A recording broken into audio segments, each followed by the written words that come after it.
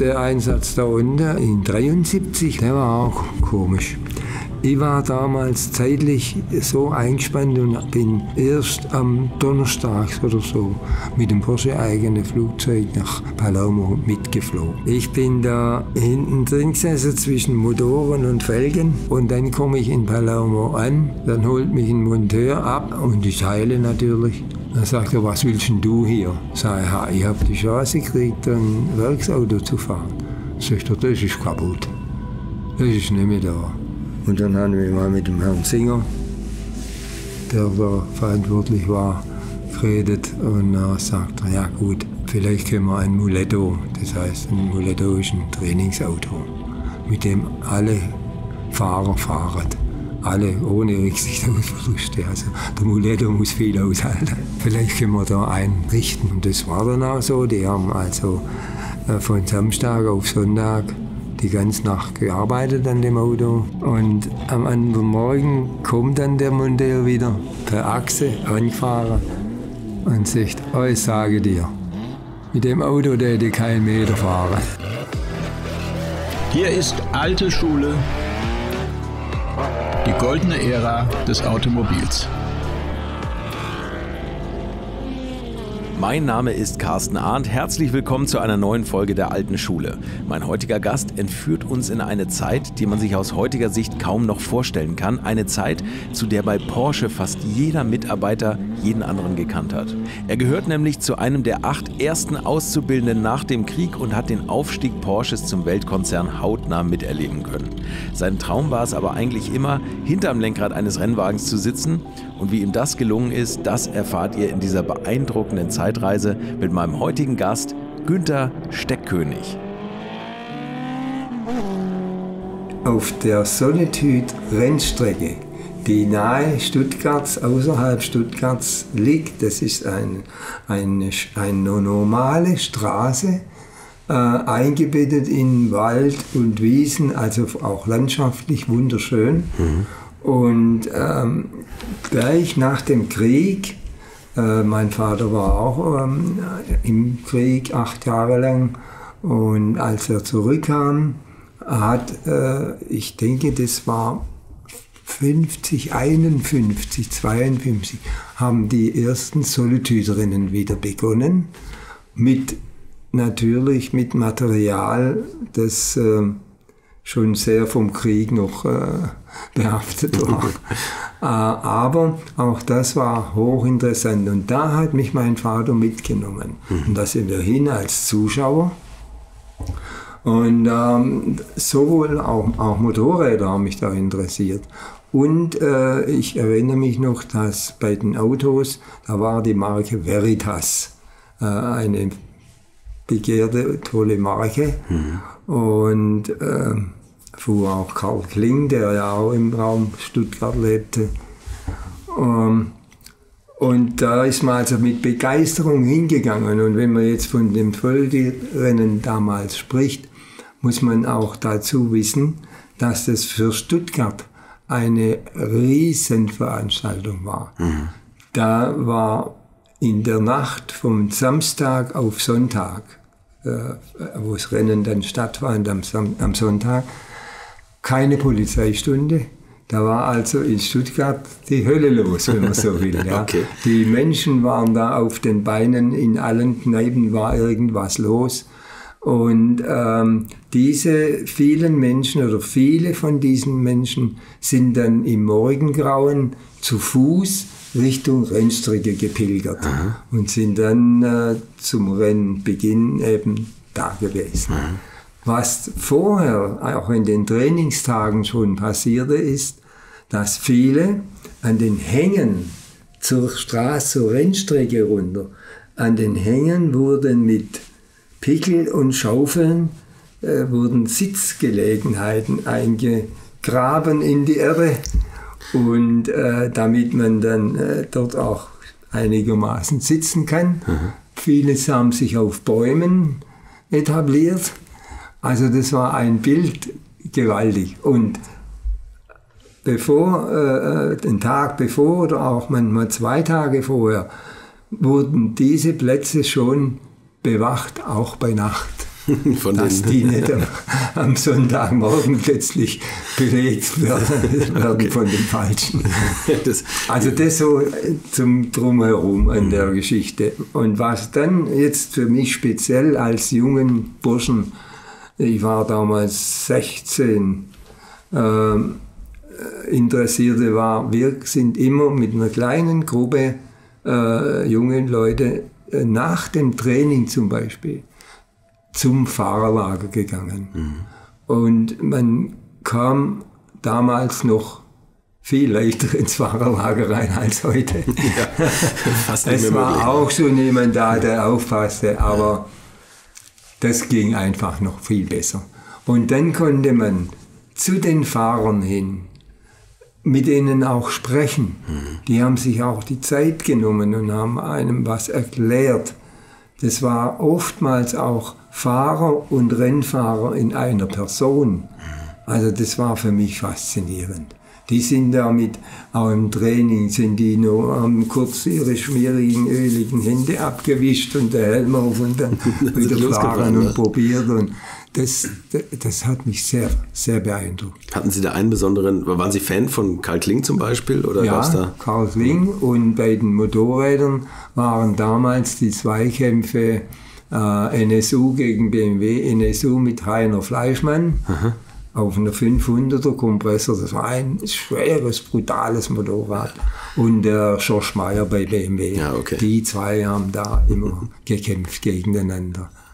Und auch die Seitenwagenleute, also das ist nach wie vor für mich heute noch faszinierend. Beeindruckend, ne? Ja. dass die veranstalten, ja, ja. muss ich auch sagen, Seitenwagen ist dann Ja, also was die da, das sind, das sind schon Sportler, also die, auch der Mann im, im, im Seitenwagen, der, der turnt der da rum, das mhm. ist gewaltig. Ja, stimmt. Auch die Motorradfahrer heute, äh, die meine ich, bringen mehr körperliche Leistung wie ein Formel-1-Fahrer. Die Formel-1-Fahrer haben auch ihre Schwerpunkte, die trainiert werden müssen. Das sind mhm. sicherlich die Halsmuskeln und mhm. äh, auch die Arme und so weiter. Aber diese Motorradler, wenn man die ja sieht in ihren Schle Schräglagen. Und was für ein Risiko, ne? Dicht bei dicht. Ja. Also. Ja. Und wie, wie? Alle Achtung. Ja. ja. So, das war also so der Beginn Solitude drinnen. Da fing dann an, ja, wie könnte ich denn, wie könnte ich denn da eigentlich auch, wie könnte ich denn da auch reinkommen irgendwie? Ach, schwierig. Jetzt habe ich äh, damals die, äh, nur die mittlere Reife gemacht, habe dann aufgehört. Ich bin zwar versetzt worden, ich hätte weitermachen können, aber ich habe gesagt, nein, ich, ich lerne einen Beruf jetzt, ich will was lernen. Das war aber auch schwierig. Ich habe also in den ganzen namhaften Firmen in Stuttgart, auch als, auch, als Mechaniker und so weiter, äh, Bewerbungen rausgelassen und habe ein, fast überall Aufnahmeprüfungen gemacht. Meistens äh, also bestanden, aber leider haben wir doch keinen Platz und so. Und dann kam die größte Weiche, die dann gestellt wurde. Das war ich habe bei Porsche hab erfahren, dass Porsche auch äh, Lehrlinge aufnimmt. Und dann habe ich mich da beworben und das hat funktioniert. Da habe ich äh, einen Platz bekommen und ich war einer der ersten acht nach dem Krieg. Wir sind acht Lehrlinge ja. gewesen die eingestellt wurden ja. nach dem Zweiten Weltkrieg. Linge war vor ihm. Richtig, genau. Der hat das da wieder ein bisschen mit aufgebaut. Vorher, der war ganz am Anfang, ne? Der Herbert Linge. Und, aber damals war Porsche auch noch eine kleine Firma. Wie viele ah, Mitarbeiter hatten die? 400, 500? Ah, ja, 400 bis 54, ja. Ich kann sagen, ist vielleicht leicht übertrieben, aber die hat man fast alle gekannt. Ja, das glaube ich. Das also glaub man ich. hat die Leute gekannt. Hm. Und wir haben in dem Werk 2, das ist heute noch das Werk 2, da war die Produktionshalle für die 356er. Mhm.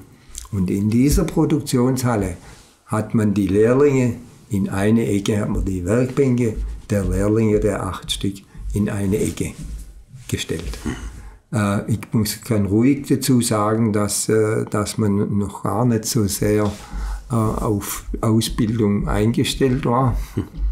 Ähm, aber sie haben es getan und da bin ich froh drüber. Mhm. Und äh, wir hatten damals äh, leider durch einen Verkehrsunfall unser Meister, der Meister war nicht da, er, er hat also, war eben verletzt.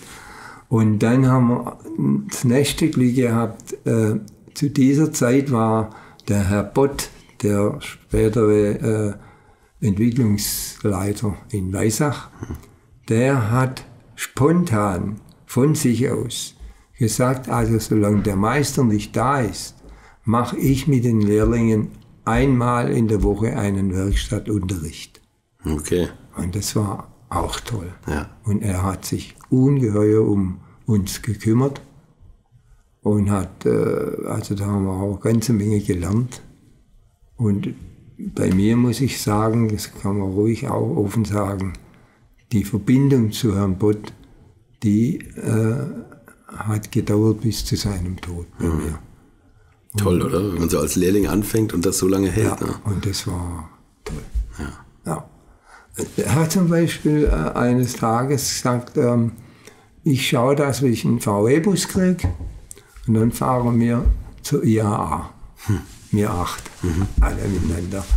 Das hat er gemacht. Sind wir da zur IAA, hat, viel erklärt natürlich. War einfach toll. Ja. So, jetzt habe ich also dieses, jetzt bin ich mal schon bei Porsches drin gewesen. Jetzt geht's weiter. Ja, was, wie mache ich jetzt weiter? Jetzt habe ich schon dort versucht, Kontakt zur Rennabteilung aufzunehmen.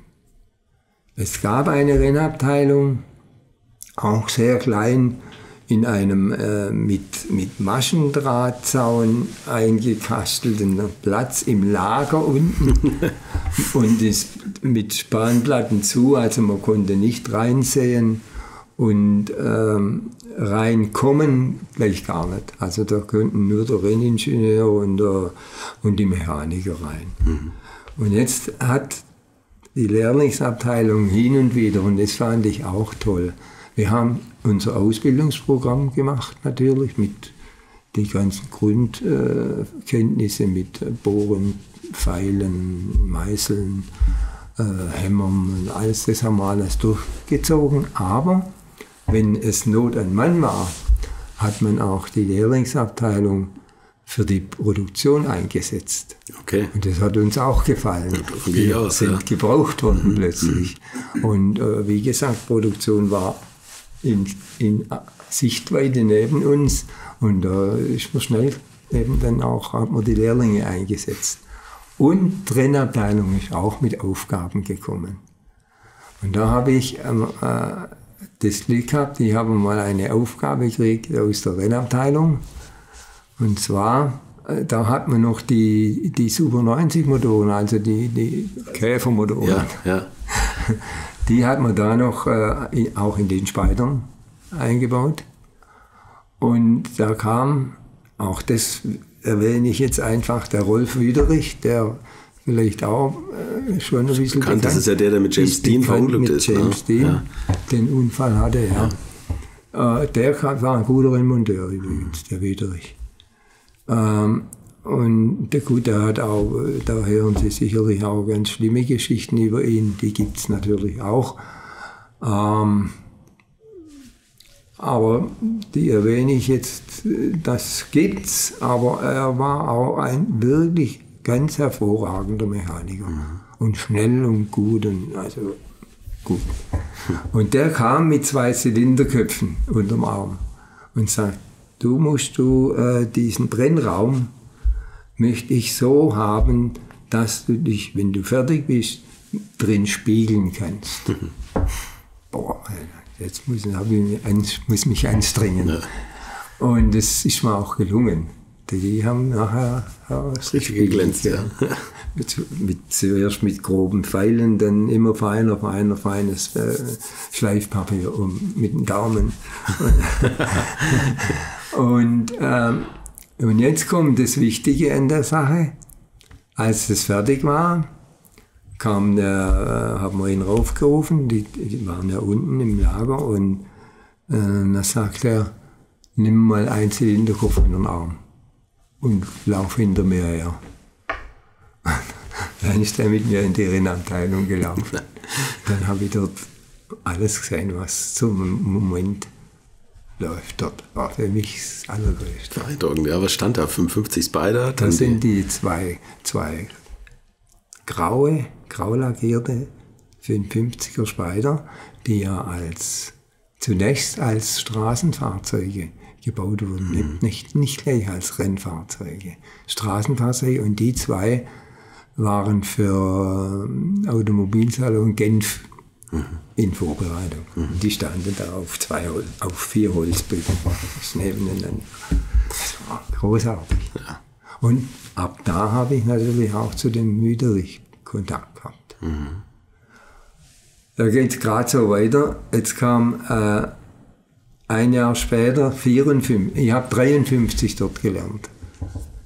53, 54 habe ich wieder äh, ja, viel Glück gehabt. Und zwar hat die Firma Esso, Benzinfirma, ähm, eine, ein Jugendlager veranstaltet am Nürburgring.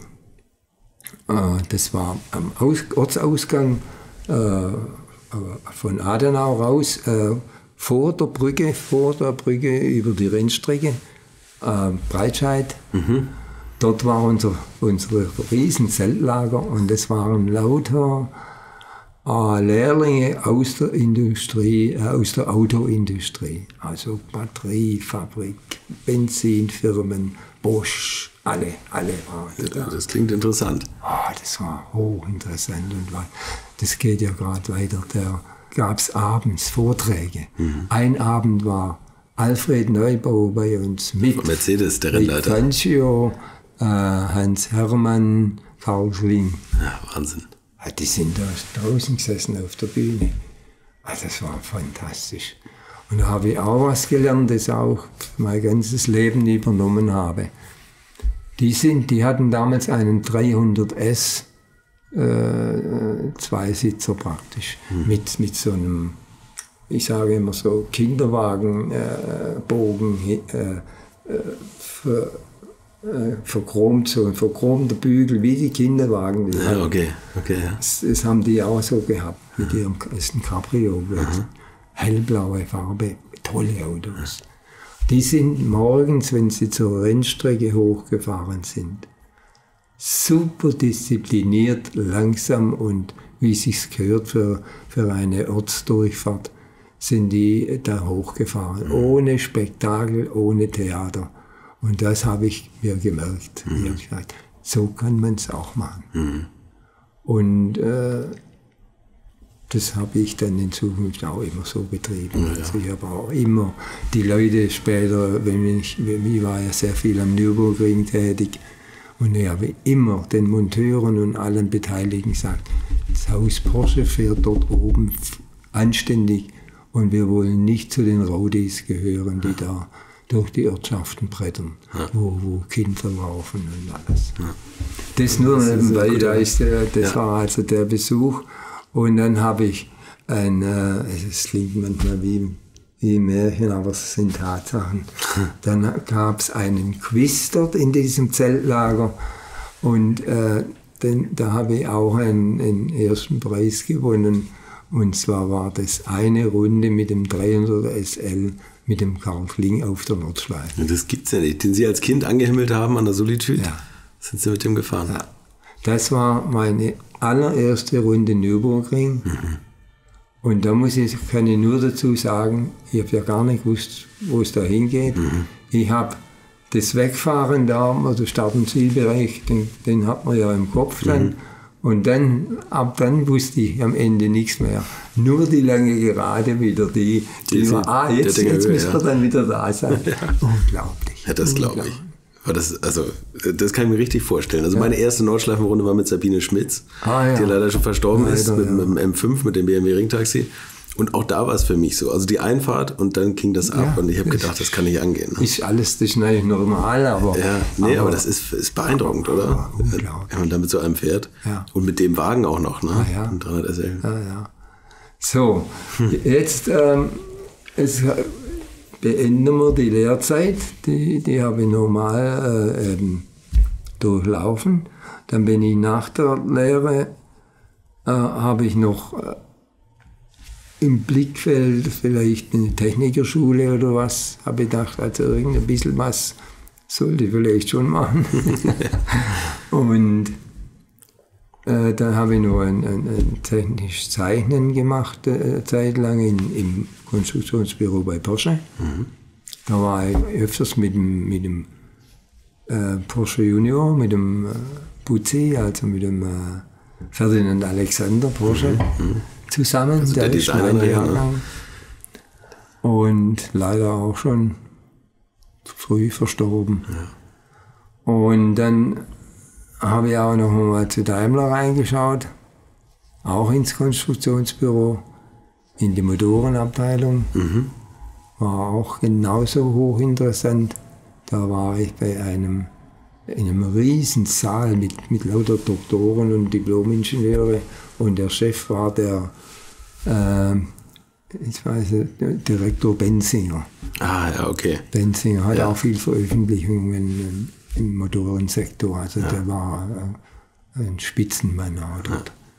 Und das war mein Chef sozusagen. Ich war ja, ich war nur ein Praktikant dort. Mhm. Aber was, was für mich maßgebend war, dieser Direktor Benzinger war mit ganz wenig Ausnahmen jeden Tag einmal an meinem Reißbrett. Mhm. Und das, das war für mich was Besonderes. Ja, klar, bei so großen der Abteilungen. Der hat ja keine Zeit, der Mann, der, ja. der muss ja weiß ich was alles machen. Die haben damals am Wankelmotor gearbeitet. Ja, und er war ein großer Fan davon, ein großer Befürworter vom Wankelmotor, glaube ich. Ne? Ja, ja. Benzinger. Ja, ja. Der, der ganze Gruppe hat im Wankel gearbeitet. War nicht alles streng geheim, ist klar. Hat man einen Vertrag unterschreiben müssen, kein Problem. Mhm. Und er war immer da, der hat immer genau gewusst, was ich mache. Also mit mit Schlafen nebenbei ging da nicht. Der hat genau gewusst, wie weit ich bin, wie weit ich gestern war. Und, also, und das hat mich das hat mich begeistert. Ja, das ist beeindruckend. Bei so großen Abteilungen ne? ja. und bei jedem, ja. dass er da vorbeikommt. Ja, und dann habe ich noch kurz mal, ja, kurz, ein Vierteljahr war ich in, in der Gießerei beim Daimler. Ja, da war ich in einer Druckgussmaschine tätig. Und habe versucht, so ehrgeizig wie die, dort, wie die dortigen Mitarbeiter sind, auch die gleichen Stückzahlen zu fertigen. das ist mir manchmal gelungen auch. Und, aber es war eine ganz knallharte äh, Zeit. Wir hatten damals eine Auergrippeepidemie in, in, in Stuttgart. Okay. Und Daimler hatte die Genehmigung, zwölf Stunden zu arbeiten. Mhm. Von morgens sechs bis abends sechs. Mhm. Das war schon. Schon, schon ein ganz schöner ja, Turn, ne? Ja, und die Nachtschicht, die war schon hart. Also abends 6 Uhr, dann die ganze Nacht. Und ich kann mir in Sinne so um, um zwei nachts, da kommt so ein bisschen Müdigkeit mhm. auf. Und das ist ja auch gefährlich an den Maschinen, ja, ne? Da merkst du plötzlich, hey, jetzt reißt dich aber zusammen, du, äh, das machst alles äh, automatisch. Und dann, muss man sich selber wieder äh, aufrufen und sagen, ja, jetzt pass auf, das ist ja, ja. Ist ja nicht einfach so. Nee, nee, nee, nee. Zwölf Stunden Schicht ist auch körperlich anstrengend. Ne? Ja, ne? was da macht. steht direkt neben diesem Schmelztiegel da, wo es gut warm war. Ja. Okay. ja, das aber, das hat alles nichts geschadet, muss ich feststellen. Also Ausbildung und zusätzliche Sachen machen äh, sind nie verkehrt, glaube ich. Wie, wie, darf ich kurz da einhaken? Wie war das denn beim Daimler im Vergleich zu Porsche von der Firma her? Ich meine, Daimler war schon riesig dagegen eigentlich, ne? Ja, Porsche war besser für mich. Ja, was ja, familiärer, ne? Viel familiärer. Ich sage Ihnen, bei Daimler war damals schon ähm, die Leute in blauen Anzug getrennt von den Weißen. Okay, also so diese ganz klare Hierarchie. Und das fand ich nicht gut. Ja. Weil keine Fakultät, weder die Weißen noch die Blauen, können ohne einander hm. arbeiten. Hm. Die brauchen beide sich. Hm. Und wenn ich das dann so trenne, dass die in der Kantine woanders sitzen, das hat mir nicht so gefallen. Also so, so gesehen waren die, die, die Zeiten bei Porsche und die, die, vor allem auch die Anfangszeiten, wunderbar. Also da gibt es nichts. Da hat man, es war ein tolles Schaffen. So, und jetzt habe ich den Techniker gemacht noch. Das war auch gut. Und dann ging die, ging die Sucherei einer Stelle wieder los. Weil ich wollte natürlich gern zu Porsche zurück. Mhm. Und zwar sogar mit einem Sonderwunsch. In den Fahrversuch. Oha, okay, Betonung ja. auf Fahr. Weil jetzt kommt ja wieder das, jetzt kommen wir ja von der Solitude wieder. Okay. Und ja, es habe ein bisschen Geduld gebraucht. Und es hat aber dann geklappt. Ich bin dann untergekommen und im Fahrversuch. Mhm. Und dann ging es dort los äh, mit vielerlei Aufgaben, was ich auch toll finde bei Porsche. Wir haben, ich habe alles Mögliche gemacht bei Porsche. Und das, das war so interessant und so abwechslungsreich. Da bin ich sicher, da hat ein, ein junger Ingenieur bei, bei Daimler-Benz, der bearbeitet vielleicht ähm, Bremszange vorne rechts oder so. Mhm.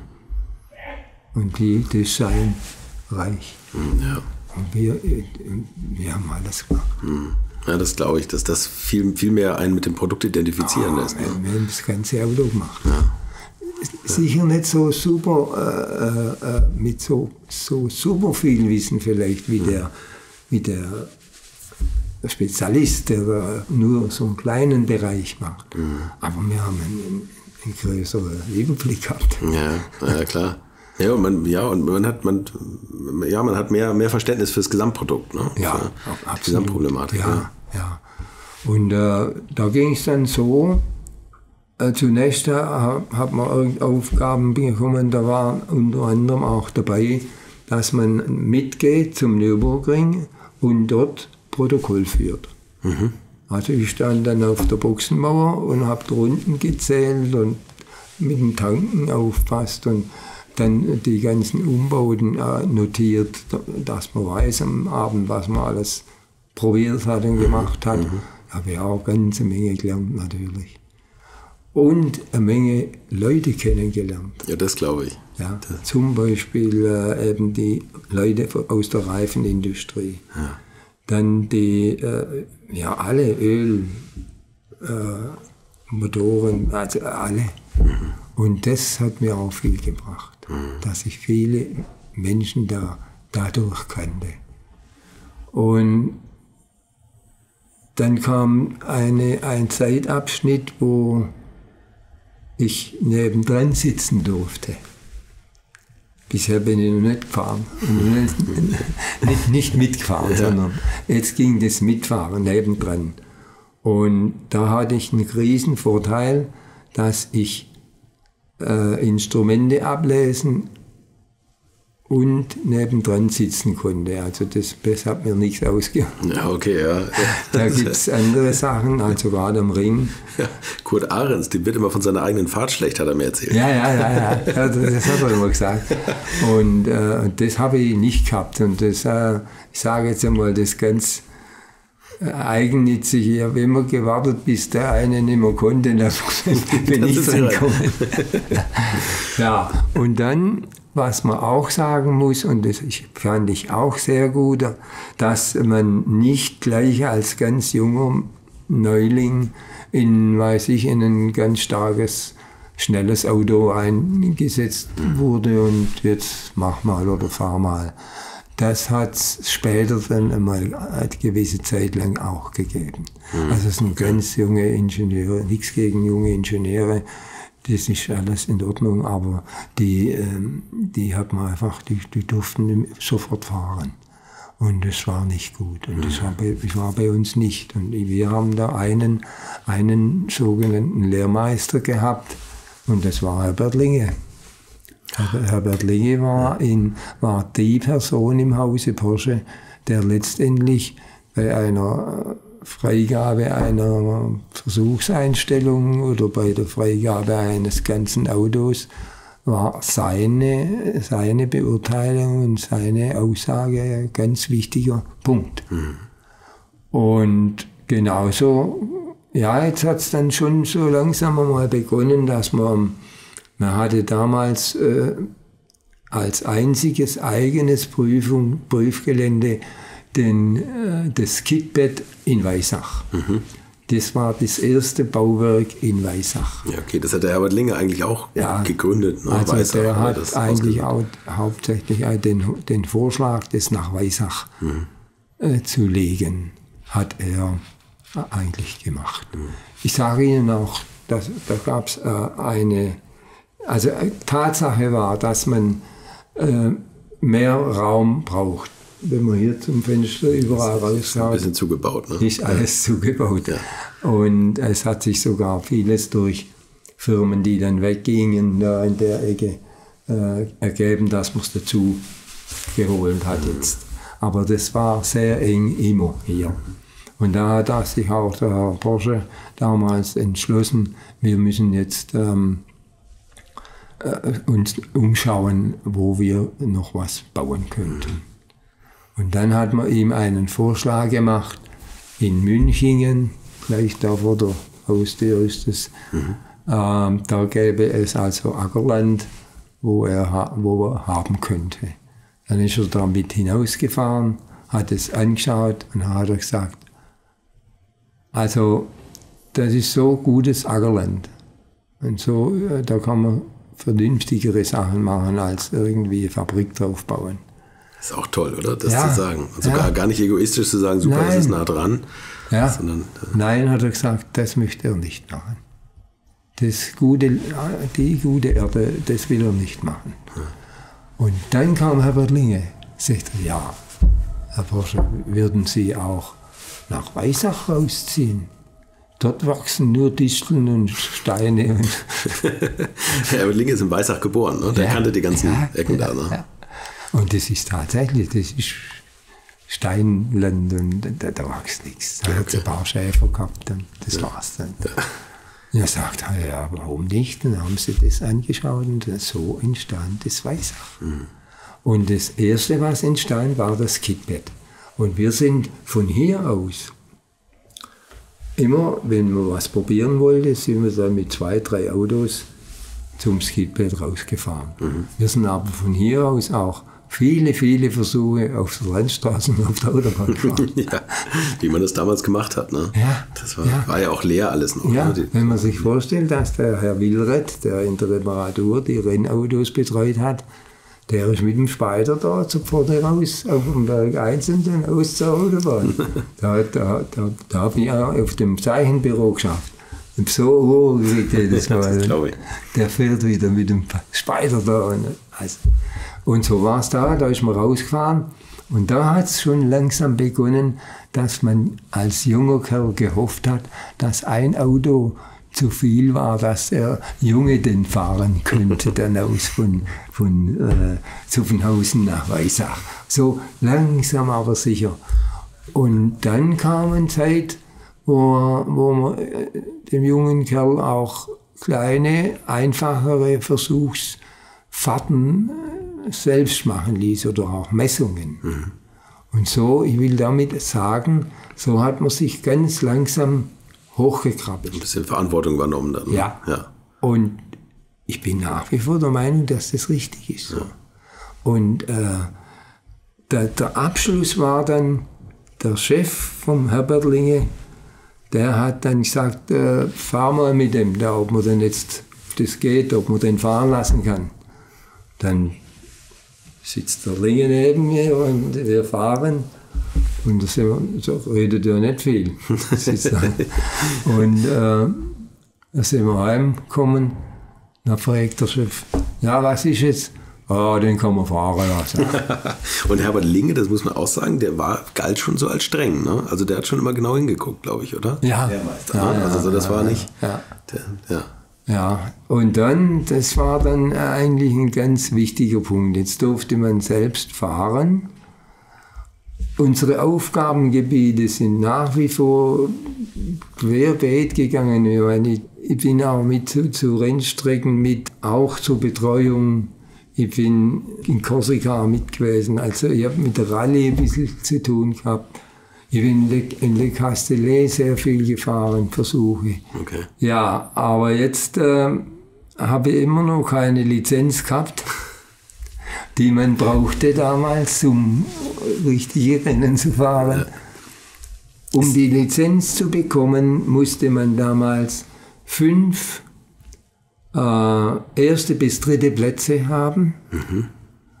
Oder äh, glaube drei, drei Goldmedaillen bei Rallyes oder sowas. Aber das waren auf Geschwindigkeit-Rallyes oder, oder Ganz Orientierungsrallyes? kleine Veranstaltungen. Das, ich habe ja kein Geld gehabt. Ja, eben, eben, das ist da ja auch schon teuer. Ne?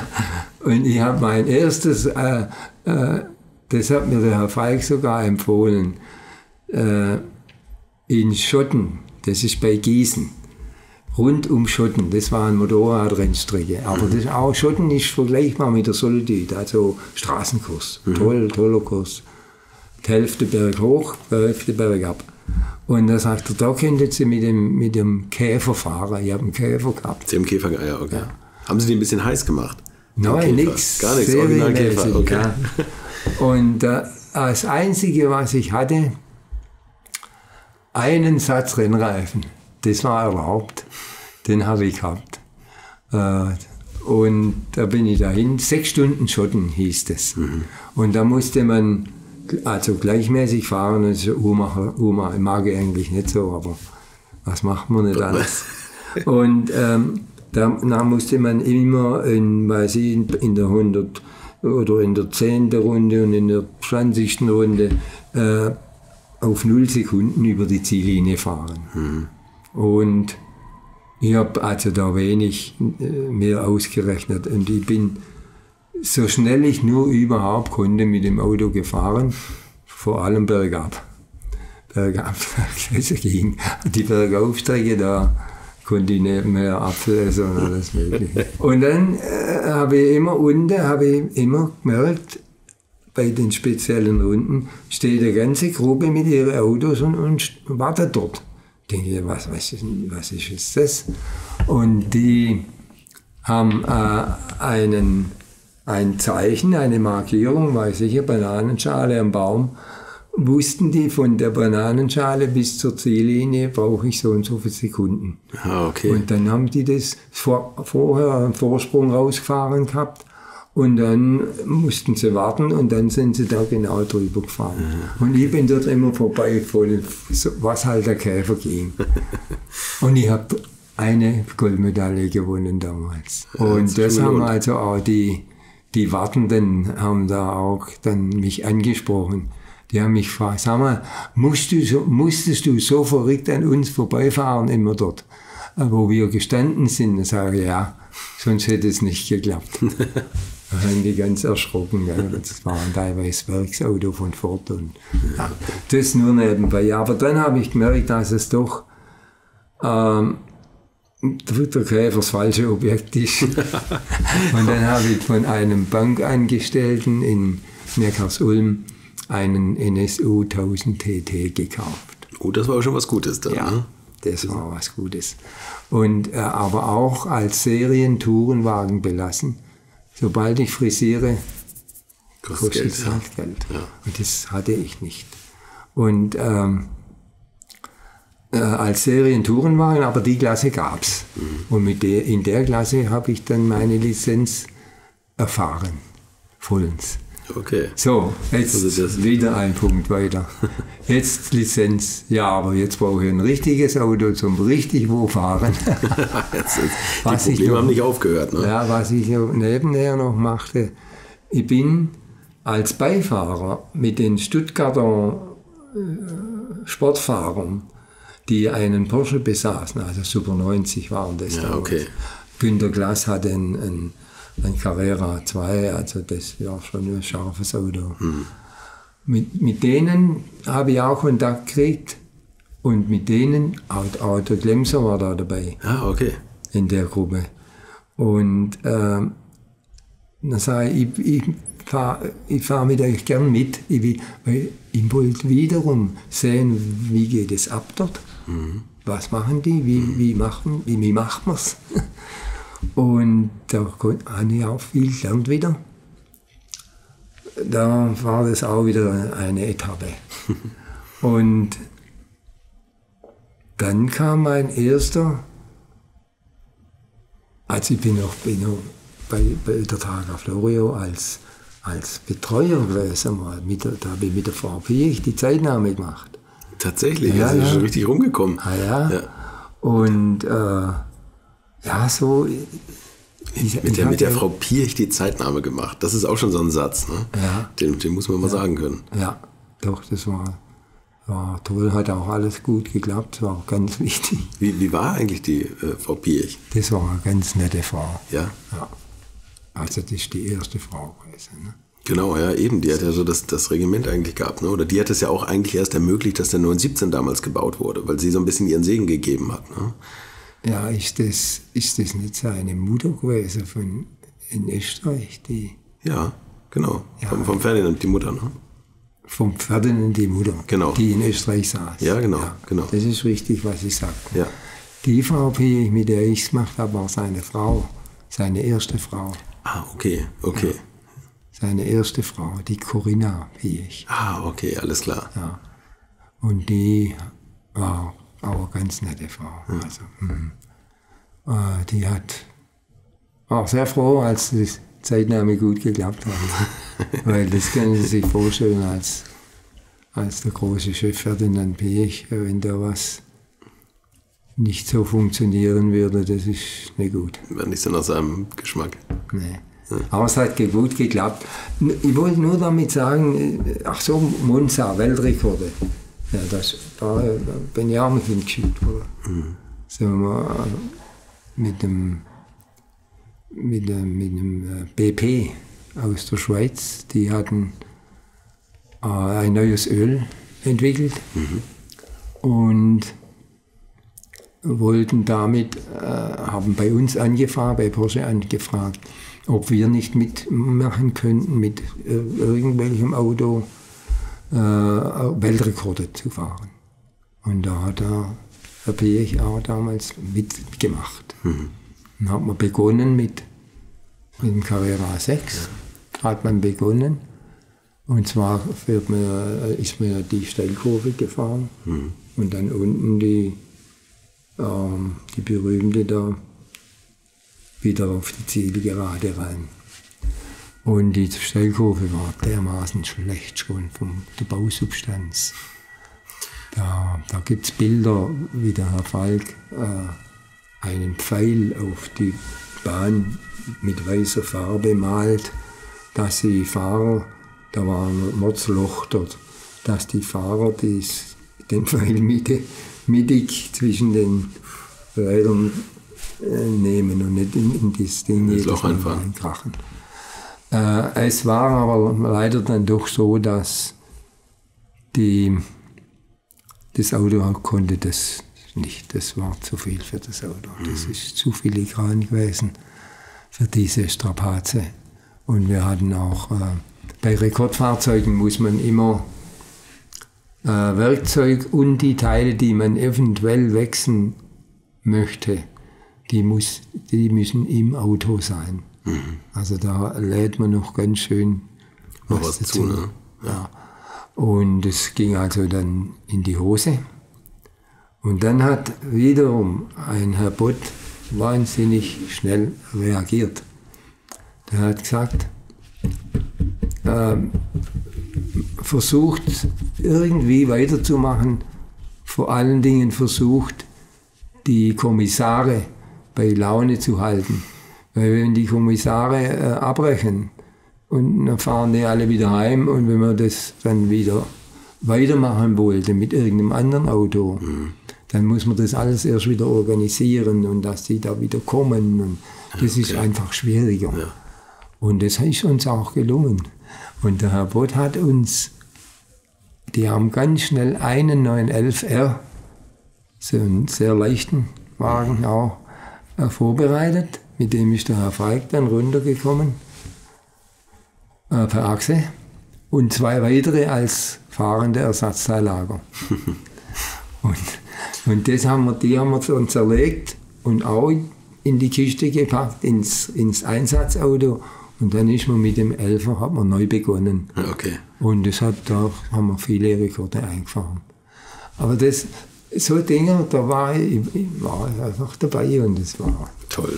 Ich habe im, im Wohnwagen geschlafen, im, im Park in Monza. Äh, wenn der Motor getan hat, konnten wir schlafen. Wenn er ausgesetzt hat, sind wir sofort raus. Durfte man eigentlich, äh, durften dann externe Leute am Auto schrauben? Ja. Achso, Ja, ja. oder kommt man doch bestimmt noch Teile in der Tasche dazu schmuggeln oder nicht? Oder wurde das so kontrolliert? Das war schwierig. Ja, okay. Das war diesem Team sehr schwer aufgepasst. Okay. Ja. Gut, man hat auch schon immer, also da weiß ich jetzt nichts, aber in Le Mans weiß ich auch ein paar Sachen, wo funktioniert haben. Da haben Sie auch als, als Mechaniker mitgearbeitet? Nein, da war ich dann auch als Zeitnahme Okay. oder in Wilson als, äh, als Zeichengebung. Ach so, dass man reinkommen muss. Oder? Das war ein, ja, die haben in Le Mans, äh, ist ja jetzt die Zeitnahme schon einige Jahre an den Boxen. Damals, zu meiner Zeit, da war die Zeitnahme und die gesamte Zeichengebung in Mülsan. Das ist eine rechtwinklige Kurve nach der langen Gerade. Äh, Und dort hat äh, jede Firma äh, eben ihre Tafeln und ihre Leute aufgebaut gehabt. Wir haben zum Schluss so einen Galgen gehabt zum Ausfahren und okay. zeigen.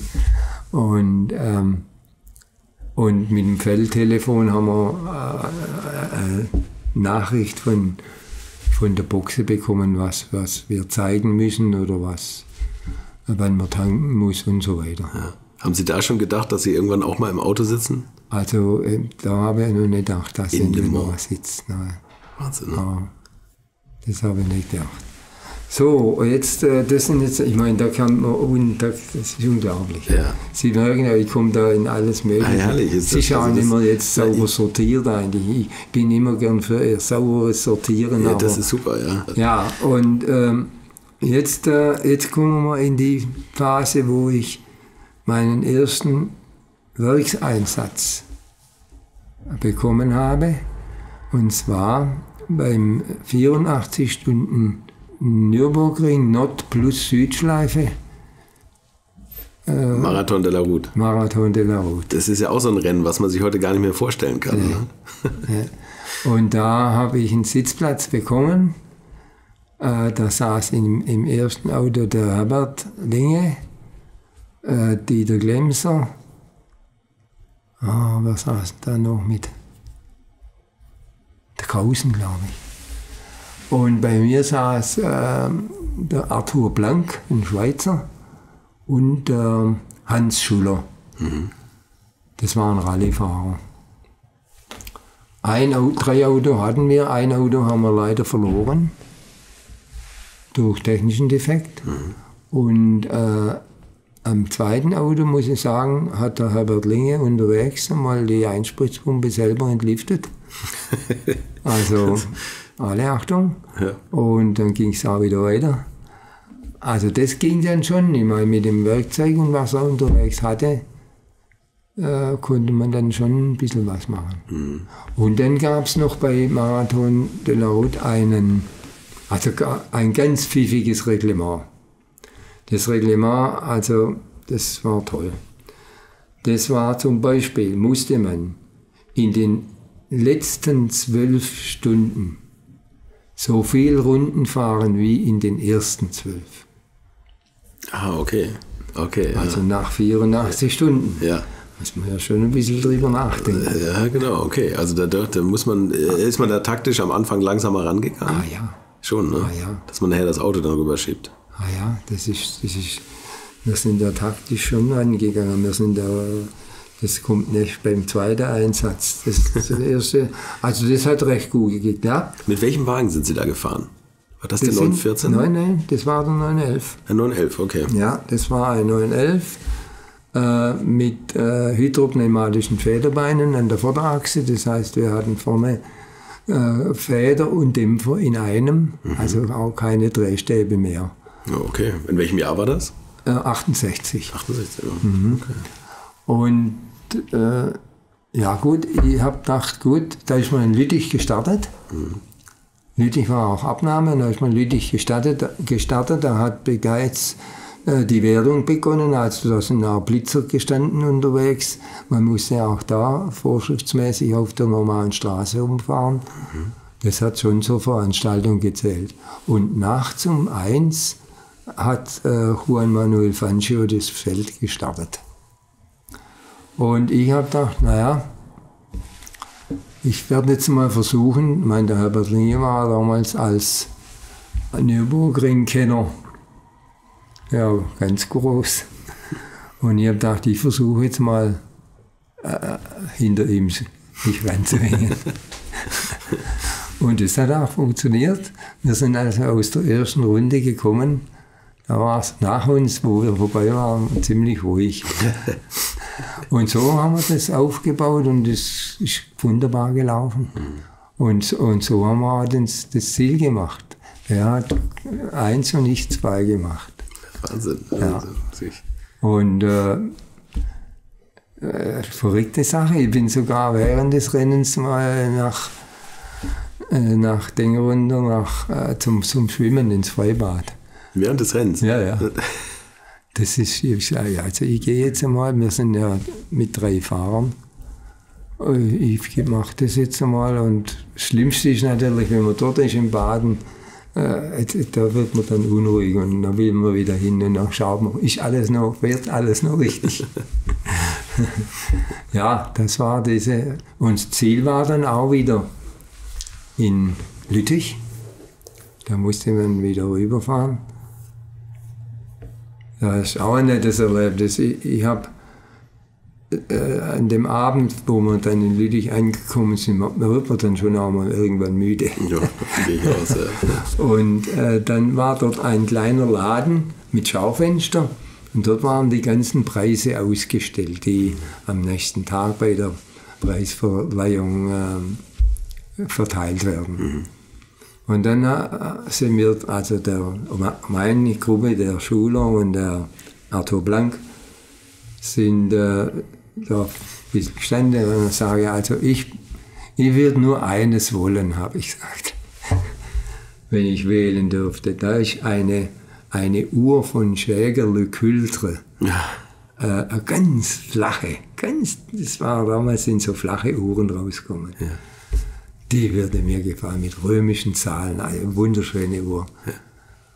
Ja, ja, gut, habe jeder zur Kenntnis genommen. Und, und jetzt kommt am, an dem Tag der Preisverleihung, kriegen, kriegt mein, unsere Mannschaft die Uhr. Ist- Und die Schweiz, der Schweizer hat gleich gesagt, die Uhr kriegst du. Ich bin ein Schweizer, ich habe Uhren genug.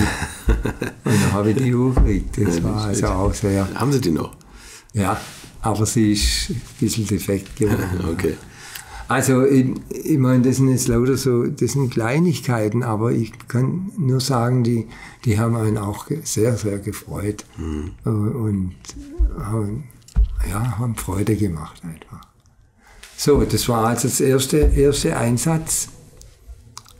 Dann, äh, das, dann kam ein ganz, ganz wichtiger Punkt in meinem Rennereileben, das, das ja erst begonnen hat. Ähm, der Herbert Linge fuhr in der Zeit privat auch bei äh, Paul Ernst Strehle. Ja. Und wollte aber 1970 aufhören bei Strehle. Und eines Tages sagt er, du, äh, wir fahren mal miteinander zum Strehle. Wir, wir sprechen einmal, vielleicht kannst du dort in die, in die Gruppe einsteigen für mich.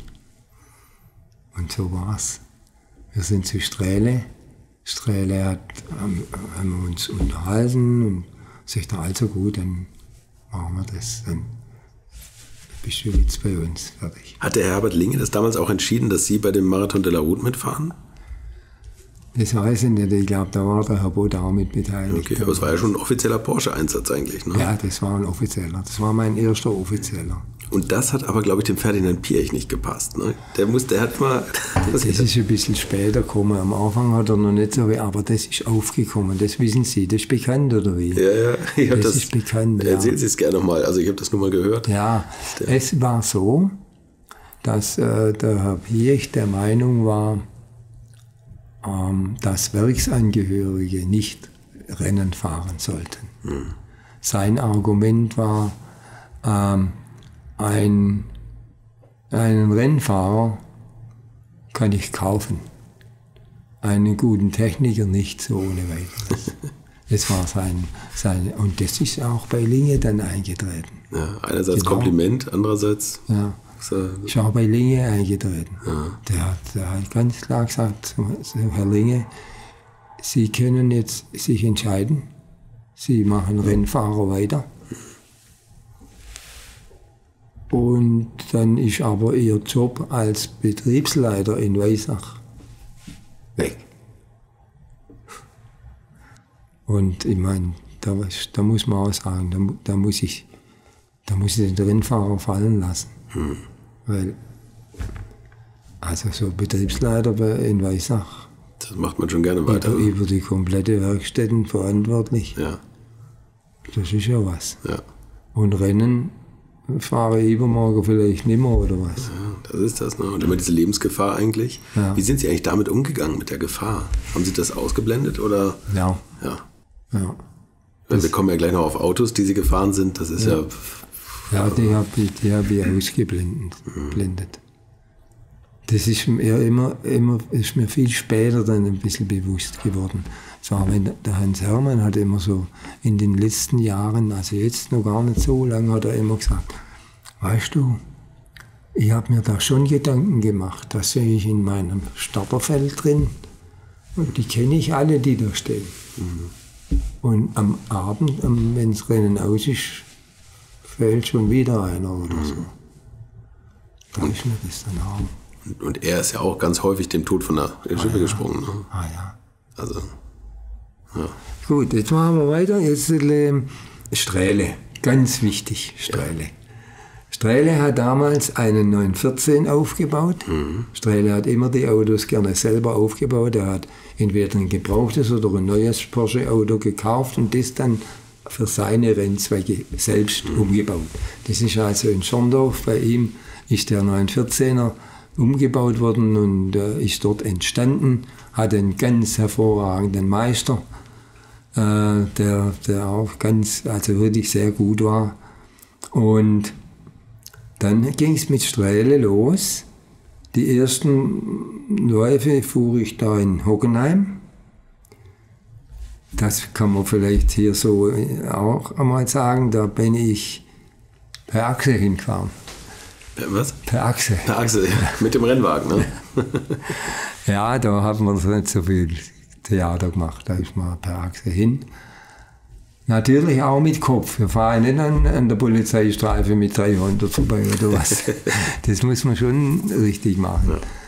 Und dann, was ganz Großes kam, war, ähm, Strähle hatte für Österreich, also für, damals hieß noch Österreich Ring, jetzt ist ja Red Bull Ring, ähm, da sagt er, da fahren wir hin, da fahr, starten wir mit dem 914er und mit dem 911. Da setzen wir zwei Autos ein. Und da hat er mich auf den 914er eingesetzt. Und äh, es gibt in Österreich nur eine GT-Wertung. Also egal, wie viel Kubik das Auto hat. Das heißt, wir sind gegen die zweieinhalb Liter Elfer auch gefahren. Okay. Und wir waren 2 Liter GT. Und wir haben das gewonnen. okay, weil die, weil die Wagen leichter waren oder besser lagen mit dem Mittelmotor? Oder? Also ich, ich bin das Auto sehr gern gefahren. Oder, oder das Ich dritte glaub, wäre, weil die Fahrer so gut waren, genau. Ja, aber das, ähm, ich glaube auch, ich habe auch überall eigentlich immer wieder gesagt, wenn man dem 14er etwa noch mehr äh, Entwicklung und Liebe eingebaut hätte, wäre das vielleicht sogar das bessere Rennauto geworden. Durch die Gewichtsverteilung, ne? Ja. Ein 914.6 GT. Ja. Heute Zwei unter, unter Sammlern Zwei Liter geht bisschen was wert, ne? Viel wert. ja. Ja, ja. Und, äh, und da, ist, da kam damals der Erwin Krämer, der fuhr selber noch damals äh, äh, das Rennen mit dem Elfer.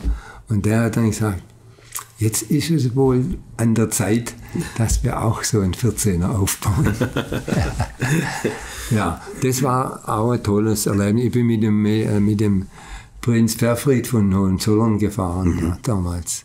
Den hat der Strähle da irgendwie in den, den Zug abgeholt oder was. Und ähm, dann kam aber ein ganz wichtiges, äh, ganz wichtiges Ereignis für mich. Strähle war auch ein Targa Florio-Fan Oh, okay. und äh, sagte, also wir fahren auch die Targa Florio, auch mit, mit dem 11er und mit dem 14er. Und äh, da durfte ich natürlich dann auch mit. Und das war, das war eigentlich ein, ein ganz großer, wichtiger Punkt. Da sind Sie ja mit einem großen Liebling meiner Hörer gefahren. In, in dem äh, 914, auch mit Willi Kausen, glaube ich. Ja, ja. Da fuhr Kausen mit mir, ja. Ja. Und ähm, ja, äh, da gehört, da gehört äh, zur Targa Florio gehört eine ganze Menge dazu. Da gehört dazu, das sind andere Menschen. Die sind so begeisterungsfähig, die Menschen. So Menschen habe ich vorher bei Rennen hier noch nie gesehen. Unglaublich, wie die, äh, ja, wie die fanatisch sind und, und wie die äh, eifrig sind und also unglaublich. Und wie die die Strecke säumen, ne? Das ist ja, Ja, rundherum, ja. es äh, stehen überall die Leute in den Dörfern und machen da ein Riesenfest draus, ne? Die sind eher, wie immer gesagt, ich fahre ich fahr durch lebende Leitplanken. Die, das sind der Fiat 500er, Vespas am Rand, das sind die Leitplanken gewesen. Und die, die stehen, die standen, die haben ein Vertrauen gehabt, die, die haben nie geglaubt oder gedacht, dass wir auch mal rausrutschen können. Da stehen die am Rande, unglaublich. Und ich weiß nicht, wie das ausgegangen wäre, wenn wirklich einmal was passiert wäre. Weiß ich nicht, das kann ich nicht sagen. Aber die Begeisterung, zum Beispiel der Nino Vaccarella, das ist äh, der, der Schullehrer aus Palermo.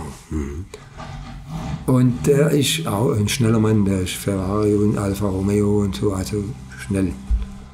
Da war eine Allee, da war an jedem Baum mit weißer Farbe von oben nach unten Nino draufgeschrieben.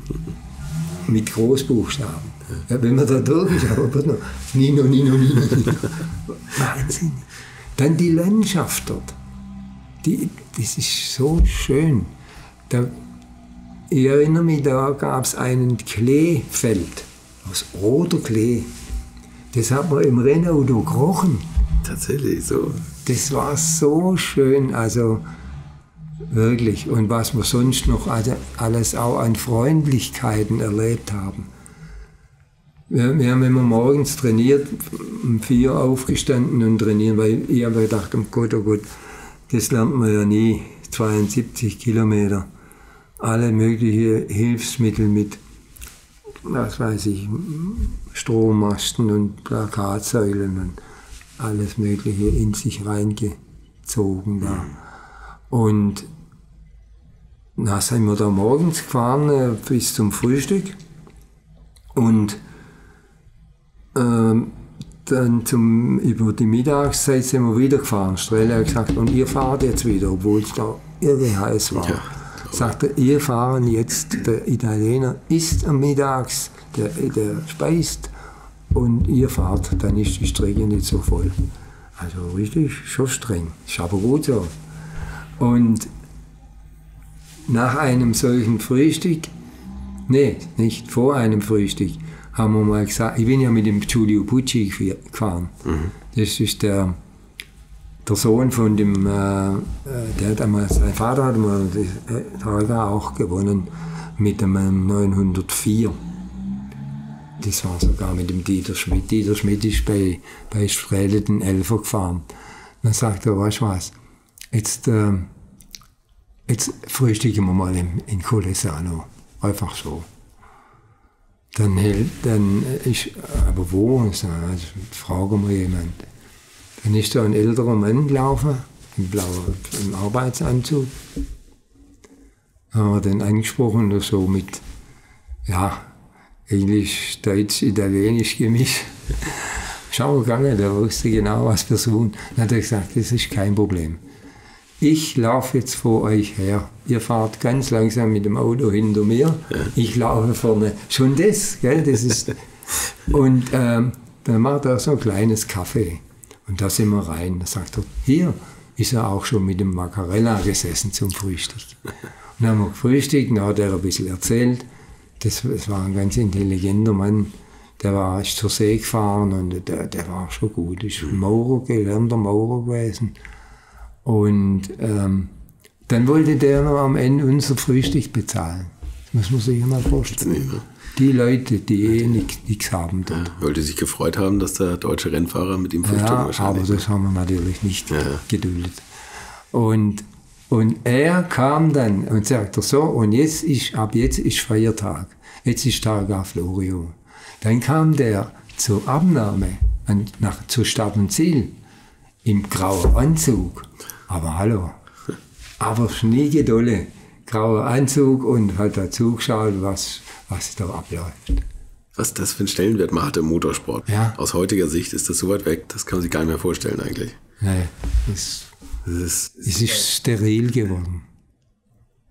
Also, das war tolle Erlebnisse. Ich habe noch viel mehr in der Hinsicht. Wir haben mit unserem Überrollbügel, äh, der, den ich als ONS-Zertifikat als, durch, als äh, in Ordnung hatte, haben die mir dort nicht abgenommen. Nein, haben sie gesagt, wir, wollen, wir, machen, wir arbeiten nach FIA und mit dem Zertifikat das gilt nichts.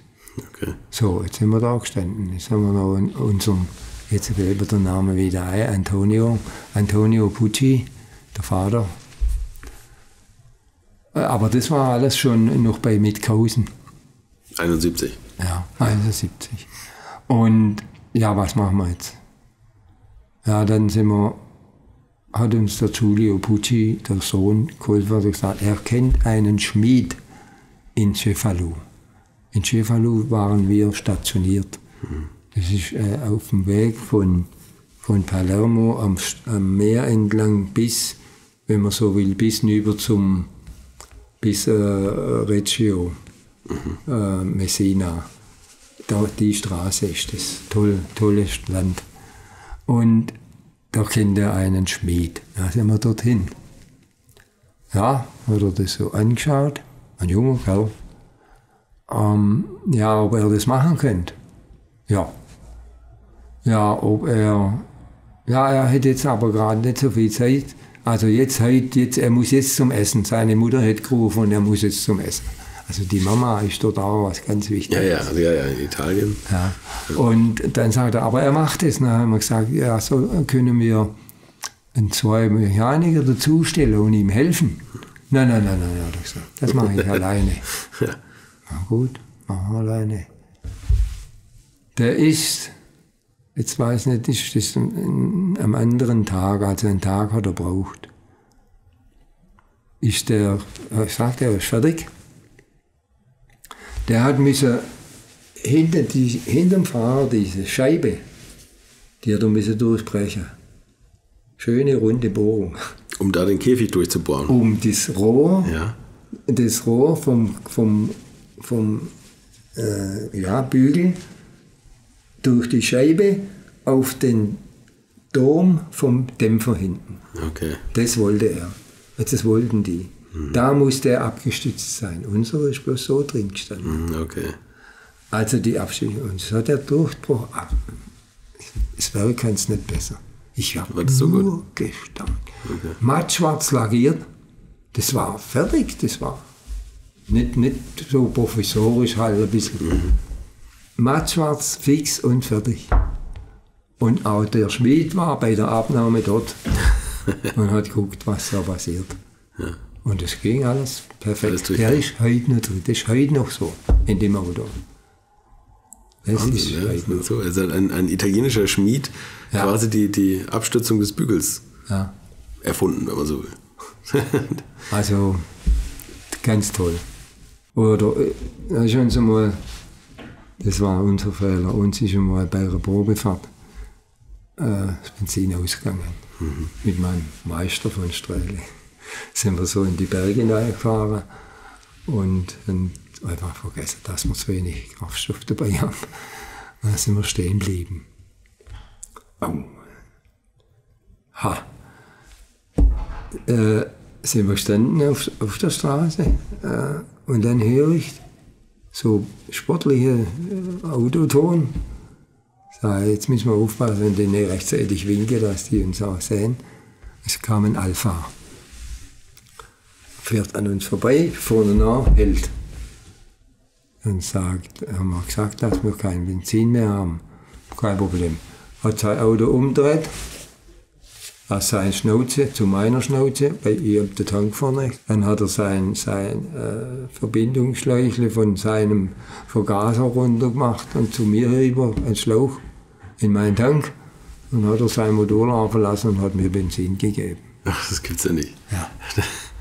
Und dann haben wir, hat er es wieder zusammen. Habe ich gesagt, das ist jetzt okay. Ob er wisst, wo die nächste Tankstelle ist, sagt er, ja, die ist gleich hier ein Stück vor noch und dann links der Berg hoch, da ist eine Tankstelle. Dann habe ich ihm was zahlen wollen. Nichts da, nichts. Kein Problem. Zack, sein Schlauch wieder. Bam, wieder weg. Das sind Dinge, die. Jetzt kommt das nächste. Jetzt sind wir dahin zu der Tankstelle und wir haben tatsächlich auch kein Geld dabei. Also war der perfekt vorbereitet. Jetzt fahre ich da rein, also Kriegsbemalung, Rennauto, fahre ich da rein und haben jetzt dem gleich gesagt, also pass auf, Geld habe ich jetzt gerade keins dabei.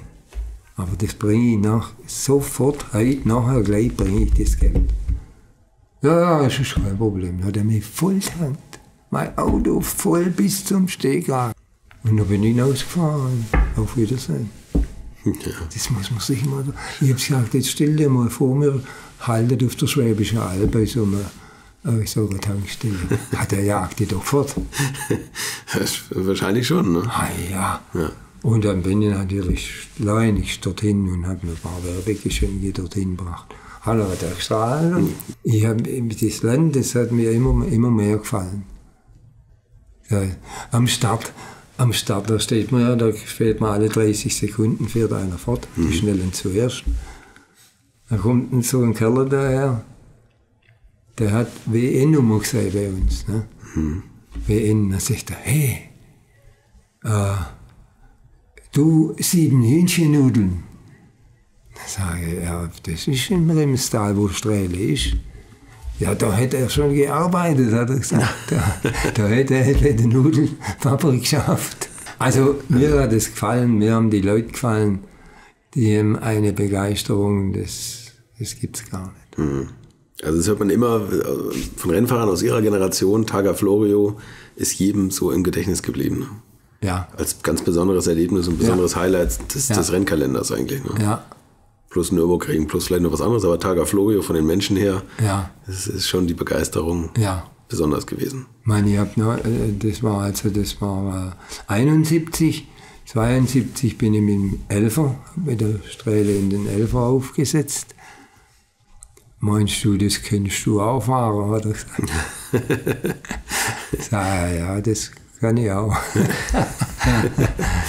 naja, war ein schönes Auto, gelbes Auto mit einem äh, Mordssträhle-Wappen auf der Haube. Das ist ganz bekannt irgendwie. Ich finde, man sieht das immer in so Autobüchern, ist immer dieses, dieses gelbe Strähleautos ja, oft zu sehen. Ne? Ganz tolles Auto. Und äh, Und sie waren ja auch erfolgreich da eigentlich. Ne? Ich glaube Platz 3 1971. also das 73, äh, 72 war ich äh, auch Sechster im Gesamten und Erster im Klasse, in der Klasse. Und 73 auch wieder Sechster und Ja, da war der Gesamte nicht so, nicht so schnell. Aber 72 hatten Sie noch einen Unfall, Doch, oder? Gesamte 6. 72 hatte ich einen Unfall gehabt. Mit dem Elfer. In der letzten Runde. Das darf man niemand sagen. Aber das hat Strähle toll. Also, ich bin, das ist so, da wäre Marian für der Vierterstelle. Da hat der Kinder Jendrich schon gewartet vom Süddeutschen Rundfunk. Und ähm, die Sizilianer haben folgende komische äh, Geschichte gehabt. Die haben immer samstags nach dem, nein, samstags ist gar kein Training, da wird das Auto gerichtet. Samstags haben die noch einmal äh, an verschiedenen Stellen gesplittet, frisch. Das heißt, die erste Runde, sowieso die erste Rennrunde, musste man ungeheuer vorsichtig sein, weil man ja nicht wusste, wo liegt der Split. An, welcher, ja, welchem Abschnitt.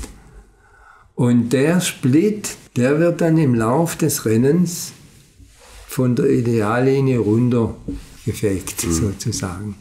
Und sammelt sich aber da am Rand, richtig häufelt er sich an. Ja. Und ich komme an so eine Stelle noch in der letzten Runde und komme ein kleines bisschen zu weit, also nicht viel, ein kleines bisschen, viel kann ich ja nicht, sonst liege ja schon der Hang drunter irgendwo, äh, in dieses Split, in diesen angehäuften Split rein. Weg und dann habe ich einen, so einen Kilometerstein getroffen. Ah, okay. Oh. Und der hat mir nicht nur der Reifen äh, kaputt gemacht, sondern das ging weiter ins Richtung Getriebe rein. Also das ging auf jeden Fall nicht mehr, aber ich habe zunächst geglaubt, sei nur der Reifen und habe noch den gewechselt. Habe mein Notrad drauf gemacht, mit Hilfe von Sizilianern. Und Sie werden nicht glauben, die haben mich verstanden. Die haben mich Schwäbisch reden verstanden. Weil ich war so äh, nervig. Und ich habe alles mit denen in, in, in Schwäbisch gesprochen. Ich sage, da vorne ist ein Ersatzrad drin. Das haben die rausgeholt. äh, und dann haben sie es da geschraubt und geholfen. Und dann haben sie nicht gewusst, wo sie hin sollen mit dem Abmontierten, weil das ist zu groß, das passt nicht dort vorne rein, wo das andere rauskommt. Nee, klar. Das ist halt auf den Sitz, ne, Beifahrersitz rein. Und dann sitze ich rein, Start, will wegfahren und bleib stehen. Das Getriebe blockiert. Nein, nicht blockiert. Da, da ist was kaputt gegangen. Da sind, da sind solche Kugeln der Berg runtergerollt. oh, da- da war ich total fertig. Total. Und äh, da war es dann auch so, die wollten natürlich, da ist gleich einer da gewesen, der hat mich in sein kleines Häusle holen wollen auf seinem Grundstück und da hätte er ein Sofa und er hätte zum Essen da. Und dann sage ich, ähm, ich gehe nicht von dem Auto weg. Weil das hat nachher keine Batterie und kein Lenkrad mehr und nichts mehr. Das ist gar nichts. Nicht mehr. aus, nicht aus, vielleicht aus stehlen wollen. Nee, Das aber aus Sensation. Ja, ja, genau. Das machen die, zerlegen die. Ja, ja. Sage, das kann ich nicht, ich muss beim Auto bleiben. Und dann kam, und das hat mich natürlich ein bisschen aufgemuntert wieder, dann kam die Mannschaft, Strehle, aber lang, es hat lang gedauert. Und alle strahlen und strahlen und strahlen zusammen. zusammen. Wieso sch- sch- spinnet ihr jetzt? Ihr könnt doch nicht fröhlich sein, wenn, wenn ich da rausrutsche. Ah, was, sagt er, du bist Klassensieger und Sechster im Gesamtklassement, was willst du denn überhaupt? Obwohl sie die Runde nicht zu Ende fahren konnten. Ja. Die zählen da wohl, haben da zählt die Gesamtkilometer. Kilometer, ja. Ja, das haben die da gewertet irgendwie. Und dann habe ich gedacht, naja, dann habe ich ein bisschen versöhnt. Ich habe nachher Taub voller, voller Pokal gehabt. Aber es hat mir sehr, sehr geschlaucht, bis heute. Ja, und dann kam ein dritter Einsatz, also Targa ist für mich immer noch. Das glaube ich. Und jetzt kam ein dritter, äh, 73, das war ein Werksauto wieder. Also hin und wieder ging ja doch was. Ja. Ich habe aber bei der Targa auch für das Haus Bursche viele Hilfsdienste während des Trainings zum Beispiel geleistet. Mhm. Wenn da ein 908-3 auf der Strecke stand mit einem Blattfuß, dann bin halt ich mit dem Rad in meinem Beifahrersitz zu dem hin und dann hat man das gewechselt dort. Mhm. Und so solche Sachen. Wenn das nicht der Fall ist, dann steht er draußen. Ja, da hat Porsche eigentlich noch von profitiert, ne? Ja, Dass natürlich. da natürlich. von Porsche mitgefahren Vielleicht hat es auch geholfen, dass da, vielleicht hat der Herr Bicht ab und zu mal Auge zugedrückt, die weiß. Er hat ja genug davon profitiert eigentlich. Ja, ne? ja. Auch mit Herbert Linge, da haben sie auch genug Erfolge eingefahren. Ne? Und sie waren ja, das ist ja das, das Besondere aus heutiger Sicht, sie waren ja immer montags wieder normal beim Arbeiten. Ne? Ja, ja. Also das ja, ja, ja, nicht, dass man gesagt hat, jetzt mache ich mal vier Tage Urlaub, sondern Nein, sie haben gleich wieder an der Werkbank gestanden. Ne? Ja. Äh, jetzt äh, der Einsatz da unten äh, in 73 war, der war auch komisch. Ich war damals zeitlich so eingespannt und bin erst am Donnerstag oder so mit dem Flugzeug, mit dem Porsche-eigenen Flugzeug nach Palermo mitgeflogen. Okay. Ich bin da hinten drin gesessen zwischen Motoren und Felgen in dem Flugflieger und nach Palermo und dann komme ich in Palermo an. Dann holt mich ein Monteur ab mit dem Bus, mit so einem Kastenwagen und die Teile natürlich. Dann sagt er, was willst denn du hier? Ist ein bisschen ein witziger Kerl. Sag ich, ich habe die Chance gekriegt, ein Werksauto zu fahren. Sagt er, das ist kaputt. Das ist nicht mehr da. Sag ich, bitte. Jetzt hat er mein Giulio Bucci, mein zweiter Mann, hat auch scheinbar einen Unfall gehabt. Okay. Im Training. Ah, oh, da denke ich, ja, und jetzt. Dann ist man dann hin, heim, also heim nach Cefalou gefahren und dann haben wir mal mit dem Herrn Singer, der da verantwortlich war, geredet und dann sagt er, ja gut, jetzt schauen wir mal. Vielleicht können wir ein Muletto, das heißt, ein Muletto ist ein Trainingsauto, mhm. mit dem alle Fahrer fahren. Alle ohne Rücksicht auf Verluste. Also der Muletto muss viel aushalten. Aber vielleicht können wir da einen, den richten für sie. Ah, das wäre natürlich toll. Und das war dann auch so. Die haben also äh, von Samstag auf Sonntag die ganze Nacht gearbeitet an dem Auto. Da bin ich auch noch, da, da sitze ich auch noch dabei bis um zwei oder so. Und dann habe ich gesagt, so, aber jetzt, jetzt gehe ich und äh, mache es gut für uns. Und am anderen Morgen kommt dann der Monteur wieder per Achse angefahren und sagt, oh, ich sage dir, mit dem Auto der hätte kein Meter fahren. äh, das fährt nicht mal geradeaus, hat er gesagt. Sag jetzt, Werner, komm. Äh, jetzt lass uns, das, lass uns mit dem Auto starten. Und wir gewöhnen uns an das Auto, und wir fühlen uns da ein und dann geht es schon. Ah, ja, gut, wenn du meinst. Und dann sind wir, sind wir äh, äh, 60 geworden. Und das war dieser fantastische RSR ja. in diesem Martini-Look, ja, der auf jedem Poster eigentlich drauf ist. Ja, ja. Und, und Müller-Lennep, das war Sieger. Und, aber jetzt kommt nochmal was ganz Interessantes und Tolles. Dieses Auto musste per Achse wieder bis Deutschland, also heimgefahren werden. Der RSR-Rennwagen aus Sizilien. Nein, nicht gesagt. Kein Problem, das mache ich. Haben Sie gemacht. Und äh, äh, war nur ein Handicap dabei. Das Auto musste mit einer, hat einen Elektrikfehler gehabt. Mhm. Das musste mit einer Fremdbatterie gestartet werden. Immer. Also wenn ich abgestellt hätte, äh, hätte ich so mit, mit, der, mit der Batterie starten. Mhm. Und dann äh, habe ich das schon gewusst, wie, was ich da mache. Ich hab, äh, bin mit, den, mit Singer auch dabei. Sind wir nach äh, Palermo gefahren per Achse und dort auf die Fähre. Da fährt man eine Nacht mit der Fähre nach Neapel. Und dann in Neapel haben wir der Singer und seine Gruppe noch mal kurz geholfen, zu, fremd zu starten auf, auf der Fähre. Und dann bin ich runtergefahren von der Fähre und habe mich verabschiedet von alle und dann bin ich ohne den Motorabsteller bis heim gefahren. und bei Tankstops haben Sie immer laufen lassen? Immer laufen lassen. Bin in die Tankstelle in Italien, das war, das war wie wenn ich gewonnen hätte oder was. Davon gehe ich aus, wenn man mit so einem Rennwagen dann noch rumfährt. Die haben ein, die eine Freude gehabt. Ja, Von Autoabsteller, Motorabsteller hat da kein Mensch was gesagt. Hier auf den ruhig laufen lassen und die da vertankt und wieder weiter. Durfte man aber auch nicht abwürgen an der Ampel, ne? Und so, das hat gut geklappt. War auch toll.